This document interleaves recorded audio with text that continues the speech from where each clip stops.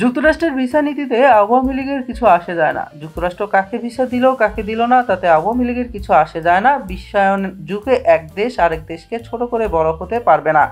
আওয়ামী লীগের নেতাকর্মীরা মাঠে আছেন, থাকবেন, বিএনপির কথায় সরকার পদত্যাগ করবে না। আওয়ামী লীগ জনরায় নিয়ে ক্ষমতায় থাকবে।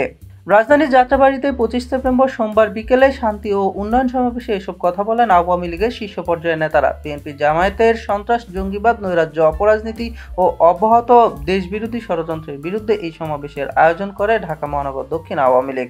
সমাবেশে প্রধান অতিথির বক্তব্যে আওয়ামী লীগের সভাপতি মণ্ডলীর সদস্য মতিয়া চৌধুরী বলেন, শেখ হাসিনার নির্দেশে আমরা মাঠে আছি, থাকব।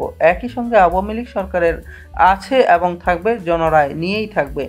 সভাপতিমণ্ডলীর আরেক সদস্য ও কৃষিমন্ত্রী মোহাম্মদ আব্দুর রাজ্জাক বলেন, বিএনপি বলছে আওয়ামী লীগ সরকারের পতন না হলে তারা দেশ অচল করে দেবে। আমি বলতে চাই, আপনারা যতই হুমকি দেবেন, আওয়ামী লীগের নেতাকর্মীরা তত বেশি সুসংগঠিত হবেন।